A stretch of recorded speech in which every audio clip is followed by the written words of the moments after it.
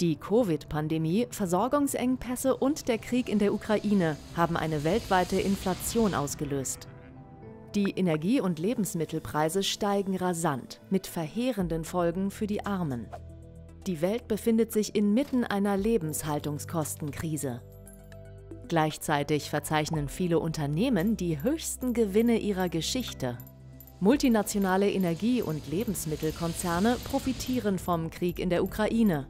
Und Pharmaunternehmen haben mit dem Verkauf von Impfstoffen, die mit Unterstützung öffentlicher Einrichtungen erforscht und entwickelt oder von Regierungen subventioniert wurden, enorme Gewinne erzielt.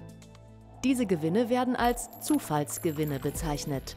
Sie sind nicht das Ergebnis von zusätzlichen Investitionen, Arbeit oder Schaffenskraft. UN-Generalsekretär Antonio Guterres nennt es unmoralisch, dass die großen Öl- und Gasunternehmen Rekordgewinne vermelden, während Preise in die Höhe schnellen. Er empfiehlt, diese Gewinne zu besteuern. Und zahlreiche Länder haben damit bereits begonnen. Wenn sie gut konzipiert ist, kann eine Steuer auf Zufallsgewinne sowohl Investitionen anregen als auch die Einnahmen erhöhen. Sie würde unseren Staaten Mittel an die Hand geben, die Lebenshaltungskostenkrise abzufedern und öffentliche Dienstleistungen zu finanzieren.